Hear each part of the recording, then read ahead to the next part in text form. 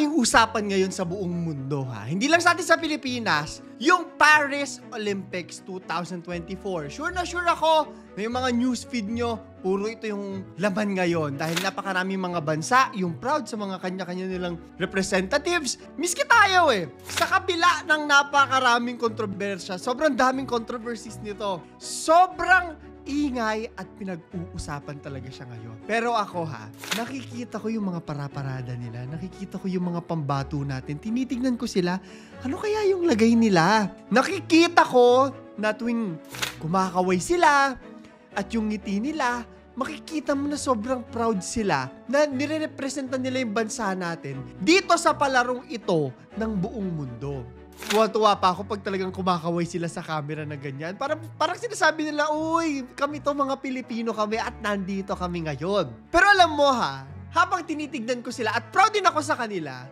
napapaisip ako, sino nga kaya yung unang Filipino na pumunta dyan sa Olympics para i-representa tayong lahat? Sino yung unang Filipino Olympian?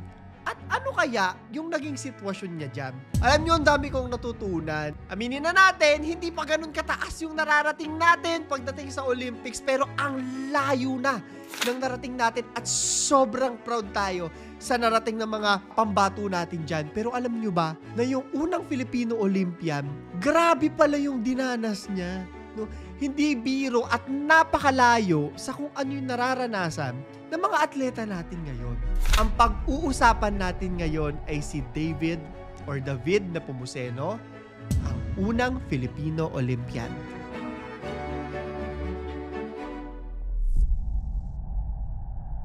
Bago po tayo magpatuloy ha, meron tayong 1,000 Gcash giveaway. Mag-like, subscribe at notification bell kayo. I-announce po natin yung winners natin every first upload of the month. Kaya sagutin nyo na yung question of the day natin sa dulo ng video na to. At i-follow nyo na rin ako sa aking Instagram. Eto na. Alam nyo, ang haba pala nitong kwento na to. Una pa lang sumali ang Pilipinas sa Olympics, 1924 pa! Magmamath ka, hala 100 years ago! Ang tagal na rin pala, no? Kung makikita nyo, search ko yung David na Pumuseno Olympics. Ito yung mga larawan, talagang mabdadala ka. Kung makikita mo, may, may stain pa yung pictures na lumang-luma pa yung mga pictures na nagagamit dyan. Alam na talaga napansin ko, medyo malungkot siyang tignan. Kasi nalaman ko, na kaya pala siya yung first at hindi first na madami. Ay dahil nag-iisa lang siya na pinadala dyan para i-representa ang Pilipinas. Ngayon nagtataka ako bakit isa lang. Pero yung pagiging mag-isa niya, yun yung magbibigay daan para sa napakarami pa mga Filipino Olympians. Hindi lang mga sumasali sa Olympics eh. Siyempre, pati yung mga atleta na iba-iba din yung pinagsasalihan, marami ang mai-inspire dito kay David. Pero kilalanin muna natin siya.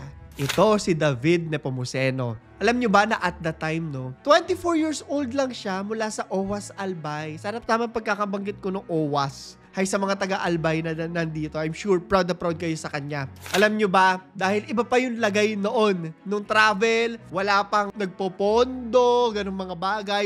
Sabi dito ha, it took him 33 days. Yung travel niya pa lang, mula Pilipinas, papunta dun sa Paris, France. 33 days sakay siya ng barko. Yung palang pagod na pagod na siya para lang makapunta doon. 1924 Olympics sa Paris. Which is kung nasaan din ngayon, no? Ginaganap ang Olympics. Pa- pahiwatig na ba to na merong mangyayari sa mga atleta natin ngayon? Para ganun ang nararamdaman ko. Parang maraming mag-uuwi ng gold ngayon. Parang full circle moment natin to. Tignan natin! Hindi ko po alam. Hindi pa tapos kasi yung Olympics as of the filming of this video. Alam nyo ha, nung nagbabasa-basa ako tungkol sa kwento niya, sabi niya sa isang magazine, sana yung mga susunod sa akin, hindi maranasan yung naranasan ko. Kasi parang at the time, di ba, may uh, galing din sa gera ang Pilipinas, mga ganyang mga bagay-bagay. So, hindi pa siguro talaga naaasikaso or naaalagaan yung mga atleta. Alam nyo ha, nakita ko rin sa kwento nila na after nung 33 days nila, pagdating nila doon, ang kasama niya si Dr. Regino Ilanan. Yun yung coach at sports administrator at the time. Pagdating daw nila doon, nakaredy na lahat ng mga tao. Sila na lang yung kakarating lang. Alam mo yung feeling na kunyari, galing ka sa isang school, tapos bibisita kayo sa ibang school, tapos parang shit, ang galing-galing ng mga kalaban mo. Para feeling ko, ganun yung nararamdaman nila nung nai-intimidate siya. Nakikita niya ang daming mga sponsorships, ang daming mga kagamitan, kompleto. Siguro nangihina rin yung loob niya at the time, pero hindi eh.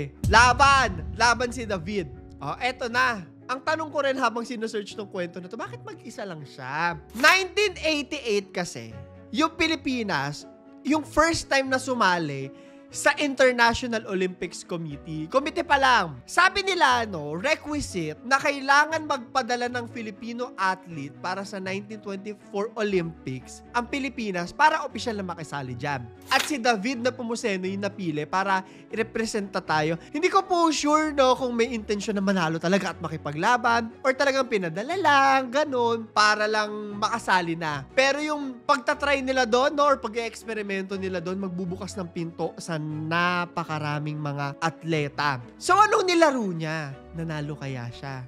Si Nepomuceno sumali daw sa 100 at 200 meter dash. Sadly, siguro malaki din yung impact nung 33 days siya nagbiyahe, walang kagamitan, mga ganun bagay. Wala, wala pang, at the time, sure ako, wala pang proper training. So, hindi siya nanalo. Hindi siya nakapasok sa mga sumunod na round nung parehong events na yan, yung 100 at saka 200. Pero hindi ibig sabihin nun ha, na ay, talunan. Hindi. Hindi ibig sabihin nun na wala siyang naiambag dahil siya ang nagbukas ng daan para sa lahat ng mga Pilipinong Olympians. Actually, hindi lang sa mga Pilipinong Olympians, habang nagbabasa ako, no, naging trailblazer din siya para sa mga Southeast Asian countries para sumali sa Olympics. Oh, di ba? Sino ka ba naman? Dahil din sa kanya, napaka maraming sumunod sa yapak at nangarap na maging Olympians din. Talakayin natin maya-mayang konti yan ha. Alam nyo, pagkatapos sumali ni Nepomuceno sa 1928 edition ng Olympics sa Amsterdam, apat na yung pambato natin. 400% ang tinaas ng mga lumaban. At dahil dyan, nagkaroon tayo ng unang Filipino Olympic medalist at yan ay si Teofilo Ildefonso. Swimming naman yung sinalihan niya. Nakita ko nanalo siya sa 200 meter breaststroke. Unti-unti lang. Alam naman natin na hindi tayo mayaman, di ba? Wala tayong gamit, budget. Actually, hanggang ngayon, hindi ganun kung, kung nanonood kayo ng mga balita ha, talagang nagtatampo pa yung mga atleta natin at nagpupunta pa sa kung saan sa ang mga bansa dahil sa kawalan ng suporta ng gobyerno, at kung sino man. Actually, yung iba inaaway pa ng mga organizations na dapat tumutulong sa kanila. Hindi na po natin kakalkalin yun dahil mahabang issue siya on its own. Pero yun yung nakakalungkot na part para sa mga atleta natin. Pero dahil nga doon, ayan na! Tuloy-tuloy na! Nagtuloy-tuloy na yung pamba- paglaban ng mga pambato natin mula kay Teofilo, sumunod na si Leopoldo Cervantes, nakakuha siya ng bronze sa Seoul noong 1988. Meron ding isa pang nakakuha, si Roel Velasco. Pareho silang bronze. Yung kapatid niya, si Onyok Velasco. Aba, nanalo ng silver sa 1996 Summer Olympics na talagang pinanood ng buong Pilipinas. At sobrang proud kasi yung last laban niya para sa gold na. Imagine mo kabadong kabado yung mga Pilipino. Sadly, natalo siya, nabigo siya, pero hindi ibig sabihin na hindi proud ng mga Pilipinas dahil siya ang kauna-unahang nakakuha ng silver. Dahil doon na, alam mo ako kilala ko si Onyok Velasco kasi after nun, kinukuha pa siya sa TV, kinuha pa siyang artista, naging komedyante pa siya. Very ano din eh, parang si Manny Pacquiao din, ganon, di ba? Kinuhang artista, daming sponsorships pagkatapos. Dahil proud yung mga Pilipino at gusto na makita talaga sila sa telebisyon. O eto, sadly pagkatapos ng mga yun, no, 2000 to 2012, may drought ang Pilipinas sa pagkapanalo ng mga medalya. Pero eto na, yung hinihintay natin ng pagkatagal-tagal. Actually, wala pa ha. Pero nanalo si Heidi Lindia sa women's 53 kg weightlifting sa Rio de Janeiro ng second.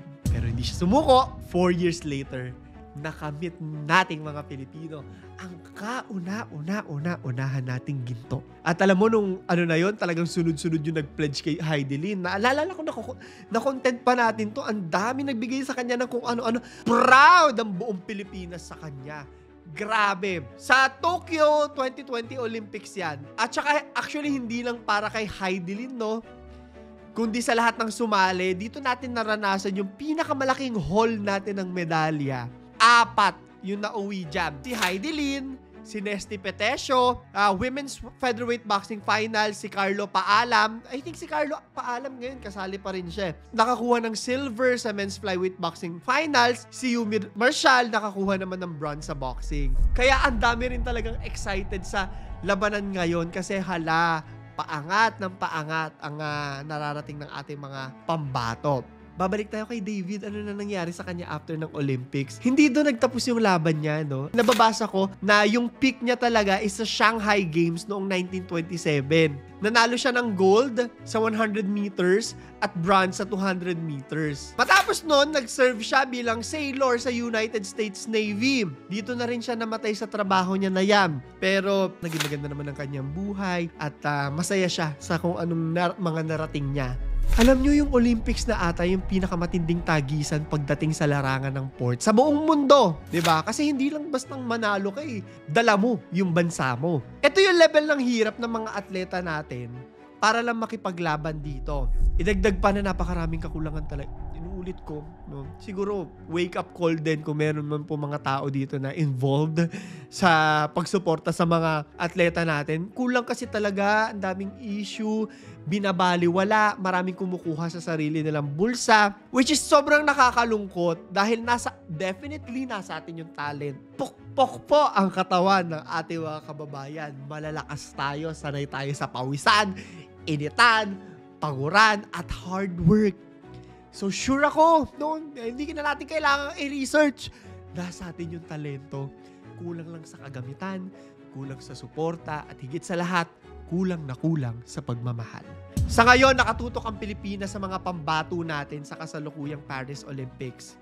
Bawat paglaban, manalo or matalo, proud tayo. At lahat ng yan ay dahil kay David Nepomuceno. Nakaka-proud. Ito yung tanong ko sa inyo. Sa tingin nyo ba, sapat yung suportang binibigay sa mga atleta nating lumalaban? Hindi lang sa Olympics ha, kundi sa iba pang tagisan pagdating sa larangan ng sports. Gusto kong marinig yung mga honest na thoughts nyo. Promote ko lang po yung aking Instagram at kung may mga content kayo no, na gustong i-discuss, comment nyo sa ilalim. So yun lamang po. Si the Third. Ito ang aking kwento.